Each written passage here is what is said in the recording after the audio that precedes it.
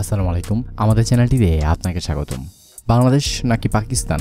কে জিতবে ট্রাইনেশন সিরিজের প্রথম ম্যাচটি? তা নিয়ে ভবিষ্যৎবাণী করেছে জ্যোতিষী টিয়া। বিস্তারিত জানতে ভিডিওটি না টেনে দেখতে থাকুন আমাদের সাথেই।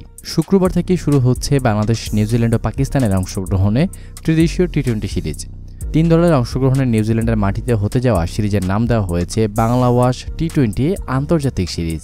বুধবার রাজধানীর হোটেল ইন্টারকন্টিনেন্টাল এক সংবাদ সম্মেলন করে এই সিরিজের নাম ও লোগো উন্মোচন করেছে ডিটারজেন্ট ব্র্যান্ড বাংলা ওয়াশের মাদান কোম্পানি এএইচএন লিমিটেড।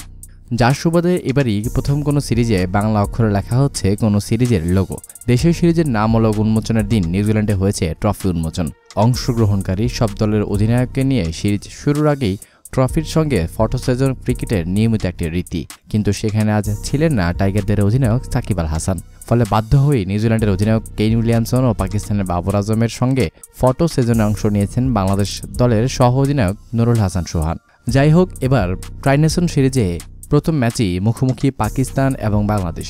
আর এই ম্যাচটা নিয়ে এবার ভবিষ্যৎবাণী করেছে জ্যোতিষী টিয়া রিকো। অনেকগুলো খামে বাংলাদেশ এবং পাকিস্তানের পতাকা রাখা হলে এদিন। জ্যোতিষী টিয়ারিকো যে খামটি গ্রিপ করেছে, তার ভেতরে ছিল পাকিস্তানের পতাকাটি।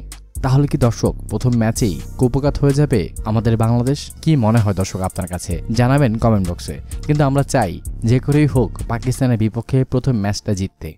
এই ছিল দর্শক, আমার হাতে থাকা সর্বশেষ খেলার আপডেট। প্রতিনিয়ত খেলার সংবাদ সবার আগে পেতে আমাদের চ্যানেলটিকে সাবস্ক্রাইব করুন এবং সাথেই থাকুন।